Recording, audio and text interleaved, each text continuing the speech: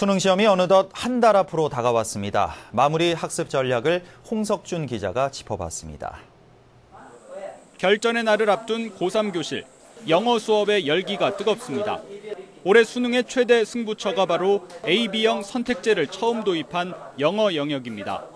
중하위권 학생 30%가 문제 난이도가 낮은 A형에 몰리면서 B형에서 상위 등급 확보가 상대적으로 어려워진 겁니다. A형이 조금 쉬운 거다 보니까 B형이 많이 부담스러운 애들이 A형으로 옮겨가게 되면서 모의고사 점수가 올랐는데도 등급은 그대로고 인문계는 국어를, 자연계는 수학이 필수 영역이지만 영어는 계열 구분 없이 공통 필수여서 영어 영역의 등급이 사실상 전체 수능 판도를 좌우할 전망입니다.